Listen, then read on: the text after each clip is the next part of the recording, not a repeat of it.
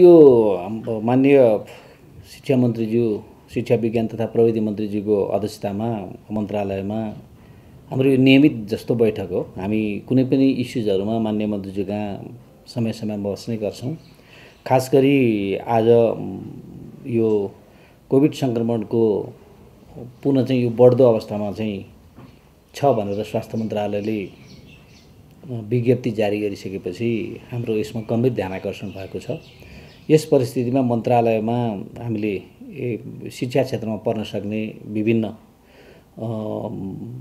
असरहरूको बारेमा हामीले विभिन्न कोणबाट छलफल गरेका छौँ।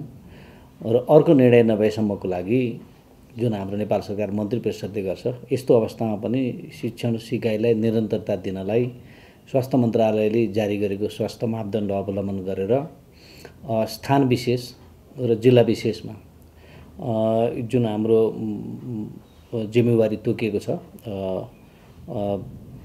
यो डिसिसिएमसी जुन छ उहाँहरूकै निर्णय र स्थानीय परिवेशअनुसार स्थानीय पालिका स्थानीय तहहरूबाट भौतिक अथवा तपाईँको वैकल्पिक दुवै विधिहरूलाई जारी राख्न सक्ने हामीले निर्णय गरेका छौँ। र तत्कालको लागि परिस्थिति असहज रहेसम्म चाहिँ शिक्षण संस्थाभित्र कुनै पनि सभा समारोह वार्षिक उत्सव जस्ता भिडभाड हुने प्रकृतिका कुनै पनि कार्यक्रमहरूको आयोजना नगर्न नगराउन हुन हामीले सम्बन्धित सबै पक्षलाई चाहिँ आग्रह गर्ने निर्णय गरेका छौँ। र विद्यालय सञ्चालन गर्नुपर्दाखेरिमा पनि हाम्रो मन्त्रालयबाट जारी भएको। विद्यालय सञ्चालन सम्बन्धी कार्य ढाँचा दुई हजार सतहत्तर छ। त्यसमा विभिन्न शिक्षण सिकाइका विधि प्रक्रियाहरूको बारेमा उल्लेख छ। त्यसको अवलम्बन गरेर यो प्रतिकूल परिस्थितिमा पनि यो सिकाइलाई निरन्तरता दिन। हामीले अभिभावक शिक्षक सम्बन्धित विद्यालय सबैलाई चाहिँ हामीले आग्रह गरेका छौँ। अहिले हाम्रो चाहिँ यति नै छ। र स्वास्थ्य मन्त्रालयको पछिल्लो विज्ञप्तिलाई हामीले ध्यानमा राखेका छौँ। उहाँहरूको त्यो दृष्टिकोणपछि मन्त्रालय सजग सचेत।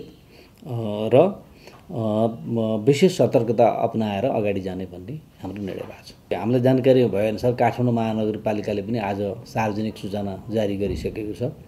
सम्बन्धित स्थानीय तहबाट यस सम्बन्धमा चाहिँ जुन हिजोको दिनमा पनि असाध्यै जिम्मेवारीपूर्ण भूमिका निर्वाह गरेकोमा मन्त्रालय त्यसको प्रशंसा गर्दछ र यस विषम परिस्थितिमा पनि भौतिक उपस्थिति हुन नसकेको अवस्थामा पनि शिक्षण सिकाइलाई निरन्तरता दिनको लागि मन्त्रालयले विभिन्न वैकल्पिक सिकाइको ढाँचाहरू पनि विकास गरेका छ र केही लागु पनि भइसकेको अवस्थामा सम्बन्धित विद्यालय पालिकाहरूबाट त्यसको पालना हुनेछ र सिकाइलाई निरन्तरता दिनुहुनेछ भन्ने कुरामा मन्त्रालय विश्वस्त छ।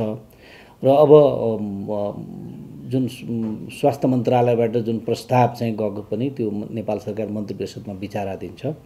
त्यस सम्बन्धमा त्यो अवस्था नपुगेसम्म चाहिँ तत्कालको लागि मन्त्रालयले आफ्नो धारणा आजको बैठकबाट तय गरेको छ।